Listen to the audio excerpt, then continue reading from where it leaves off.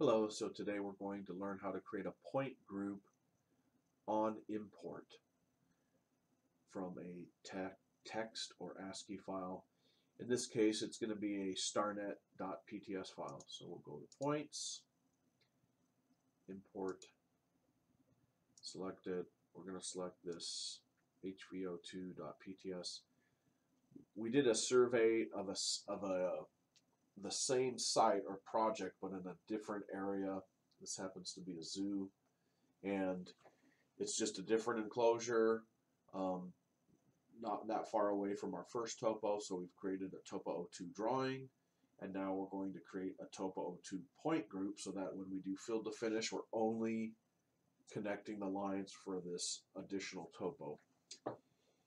And hit open. We're not going to skip any lines Here's the format for StarNet. We have the point protect. We should see a message. We're going to bring it into our current coordinate file, which we should have all set up. Here's where it says point group to assign.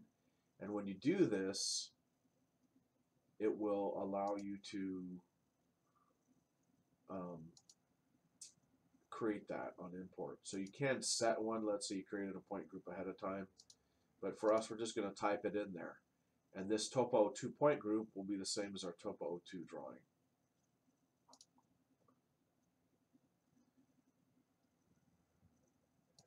Okay. And if we go to points, point group manager, there it is. So all the points it brought in are the points that uh, for or for this topo 02, which uh, matches up with the field notes and matches up with what they have. So this is a really convenient way when, um, especially when you have two crews. So this was done by two crews using two separate segments of points. And so instead of me having to type in by hand what crew one was doing and crew two, it all, we do the StarNet adjustment. It all comes in at the same time, and now I can do my field to finish uh, quickly. And then uh, we're good to go. All right, thank you. Gramercy Land Surveying, look us up. Uh, we're, you know, if you type in Santa Barbara Land Surveyors or San Ynez Land Surveyors, uh, we're got multiple reviews on Google. Thanks a lot.